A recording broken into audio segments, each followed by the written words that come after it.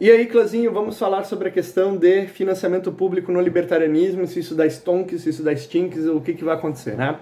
A questão toda que eu já vou jogar brabo aqui é que vocês podem usar como base neste argumento justamente este livro do Murray Rothbard, né? Ciência, Tecnologia e Governo, do Abacate Libertário, link vai estar na descrição se vocês tiverem interesse. E não é só esse livro que tem, também tem o Sem Traição do Lysander Spooner.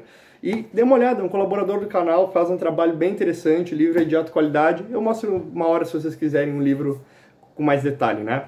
A questão toda, então, que eu quero pegar e comentar com vocês é qual? É justamente o ponto de financiamento público no libertarianismo, porque li, uh, libertários não, gradualistas tiveram uma brilhante ideia, isso já faz anos, só que agora essa ideia está voltando, né, graças ao Palio Focus querendo se candidatar, que eu cantei a pedra e o pessoal teve que admitir, é, realmente ele está querendo, né?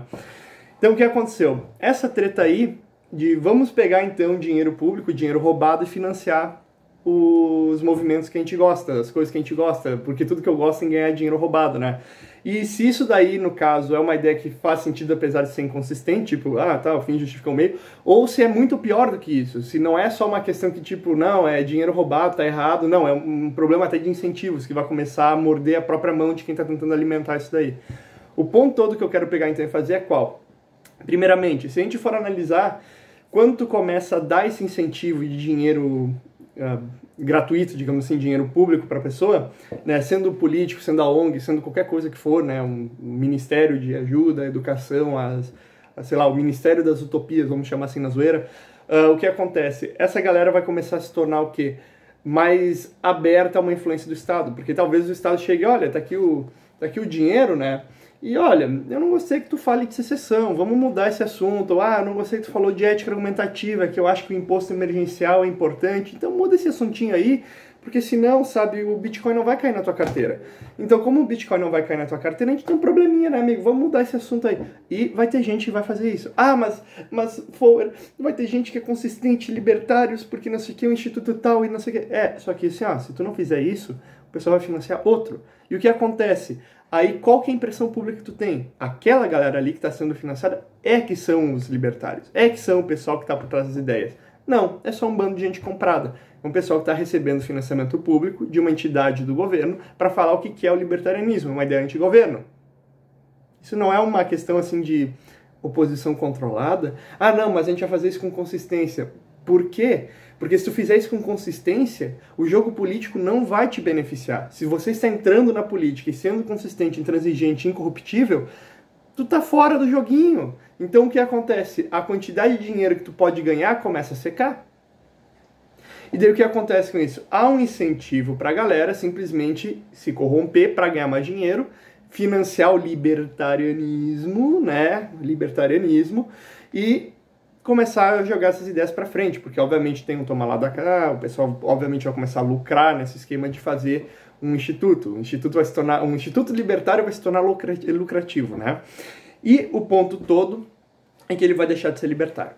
Isso também gera um problema competitivo. Vamos supor, eu faço um instituto que é um instituto onde que a gente defende o imposto emergencial. Só que a gente defende secessão. Só que daí tem um outro cara que quer financiar o libertarianismo para falar que secessão é errado, mas imposto emergencial é socialismo. O que, que esse cara vai fazer? Tentar convencer o cara que acha que imposto emergencial é correto? Ou ele vai tentar se candidatar também?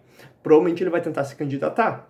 E daí ele faz o que? Ele consegue segurar fundos para a galerinha que concorda com ele. E nessa putaria aí, tu simplesmente tem o pessoal sendo espolhado, né? O governo está cobrando imposto para tu pegar e dar para uma galerinha. E o que acontece com os libertários consistentes, os libertários intransigentes, o pessoal que sabe que está errado?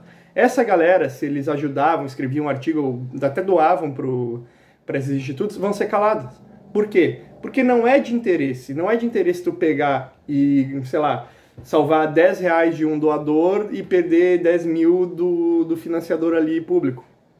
Então isso vai começar a destruir as ideias libertárias. Eu entendo até que o pessoal tem essa ideia, não, eu, porque eu, eu vou chegar lá e eu vou mudar tudo. Não é assim que funciona. Porque se tu não começar a se corromper, é capaz essa boquinha fechar. E o problema é que tu também cria a longo prazo um problema estrutural nesses institutos. Como assim? É um problema de financiamento. A gente começa a criar uma estrutura no qual dependa desse dinheiro. A gente espera que o dinheiro entre na, aqui no, toda quinta-feira, todo, todo dia 5. Né? Daí esse dinheiro vai pegar, vai entrar todo dia 5, essas coisas, uma hora não entra mais. E aí, o Instituto Rui? É assim que tu vai quebrar um, esses negócios, é assim que as ideias vão começar a ficar ruins. Ou alguém vai pegar e ter que, sei lá, oh, a entidade pública X não funciona, eu tenho que mamar a entidade pública Y. Só que essa daqui, para dar mamada e ganhar o dinheirinho, né? Ah, essa daqui ele vai mandar eu não poder falar de tal coisa. Então o que acontece? Essa ideia gradualista, né, que está começando a ressurgir agora por conta do Paleofocus, mas não é uma ideia original dele, tá? Não é uma inconsistência original essa ideia simplesmente é muito perigosa para todo o movimento libertário, ainda mais de uma pessoa que não é libertária, que defende imposto, que defende um monte de atrocidade, que já defendeu até bater, agredir blasfemador, né? Criar uma coisa que vai tomar a roupa, vestir a camisa do movimento libertário. E isso assim, ó, vindo de mim, que não gosto do movimento libertário, já aviso, vai ficar pior se isso acontecer. Né? Se já é inconsistente, vai ficar pior. E qual que vai ser o problema disso? Tu simplesmente vai retirar o pessoal que é honesto, o pessoal que está fazendo, matando um leão por dia, que está criando os próprios grupos, tu vai tirar esse pessoal do mercado e tu vai começar a incentivar que institutos picaretas comecem a tomar espaço e fazer as coisas. Então assim, ó, não tem mistério, pessoal. É só ler um livro, é só vocês entenderem o que está acontecendo, é só vocês começarem a ser um pouquinho consistente e notar cara, realmente, né? É, não faz sentido tu pegar e fazer isso. E aquele negócio, pessoal, você esmola demais, desconfia. E simplesmente, ah, não, é uma estratégia super fácil. Cara, se é fácil, por que, não, por que, que a gente não fez há muito tempo? Por que, que não é uma coisa que tipo, é base, é de praxe que a gente faz? Porque não dá certo. O que é muito fácil não dá certo. Porque se desse, se fosse muito fácil a gente ter as ideias libertárias espalhando rápido, já teriam espalhado rápido. Se fosse muito fácil pegar e conseguir financiamento para institutos libertários ou para canais libertários, eu não estaria aqui pedindo doação para vocês. Eu simplesmente estaria fazendo isso que vai dar um rio de dinheiro e foda-se. Entendeu? Se fosse muito fácil, já teria gente fazendo e dando certo. E o problema é que, que tu vê, quando isso começa a acontecer, que a, o muito fácil aparece, a corrupção e a, a, a complacência nos princípios, né, a inconsistência começa a surgir. Então eu não estou dizendo para o pessoal, nossa, a gente tem que pegar esse chicotear nas costas e martirizar e recusar qualquer coisa que seja fácil. Não, se for fácil e se for algo ético, se for algo consistente, faz. Agora, se for algo inconsistente, por mais que seja fácil, não faça. Porque isso aí tem um custo no longo prazo. E o pessoal não pensa. O maior custo no longo prazo é que tu vai criar toda uma estrutura, de alocar, por exemplo, pessoas que escrevem artigos, pessoas que fazem comentário, talvez pessoas que façam vídeo, vai alocar toda uma estrutura que no final vai ruir ou vai ser corrompida. E novamente, eu falo como uma pessoa que produz conteúdo. Ah, você não gosta de dinheiros? Eu gosto de dinheiros, né? Quem não gosta de dinheiro? Anarcapitalista é definido como o anarquista que gosta de dinheiro, né? E eu sou um libertário, então se o dinheiro é ético, por mim não tem problema. Mas é justamente esse o ponto, a ética. Se você for analisar, vai dar problema ético, que é o primeiro problema, e segundo, vai dar problema de incentivos no longo prazo. E se a gente não tiver isso em mente, não adianta criar qualquer coisa agora, vai ser tempo perdido, vai ser contraproducente.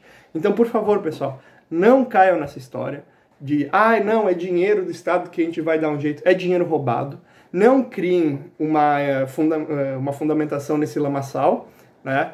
Porque no final isso aí vai se voltar contra a gente. Isso aí vai se tornar uma coisa que vai se eh, que parecia ser, digamos assim, um, uma cordinha para deixar o, as ideias voarem livre, como se fosse uma pipa, mas no final o pessoal vai ver, vai se tornar uma coleira, tá?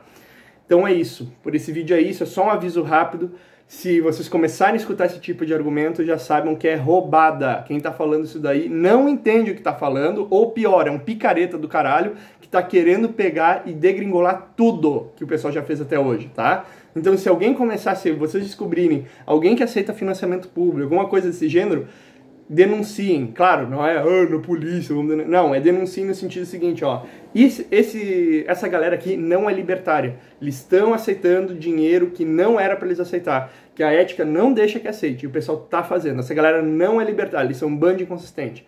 Isso tem que ser feito. Se vocês não fizerem isso, o movimento libertário vai piorar. A única forma de melhorar movimento libertário é tendo autocrítica, e uma autocrítica sincera, tá? Então, por esse vídeo é isso. Não caiam no conto da, eh, da carochinha, financiamento público do libertarianismo é stinks. No final, no longo prazo, vai voltar e morder a gente. Então, não pensem que vocês estão ganhando liberdade porque o Estado está financiando a liberdade de vocês, ou o Estado está dando um carimbo. Ai, essa ideia que é a válida. Ou, ai, não, não é o Estado, é um político que é nosso amiguinho isso volta contra vocês. Vocês estão dependendo da existência do Estado para que essas ideias sejam transmitidas. Não caiam nessa história, né? Por esse vídeo é isso. Até mais.